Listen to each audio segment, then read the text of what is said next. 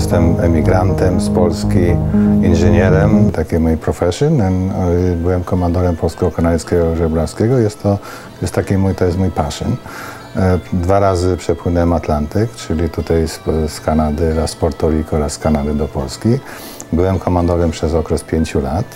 E, W tej chwili jestem wicekomandorem Polish Yachting Association North America, zrzesza kluby amerykańskie i kanadyjskie. Mamy piękny jacht 82-stopowy i e, robimy różne, duże projekty.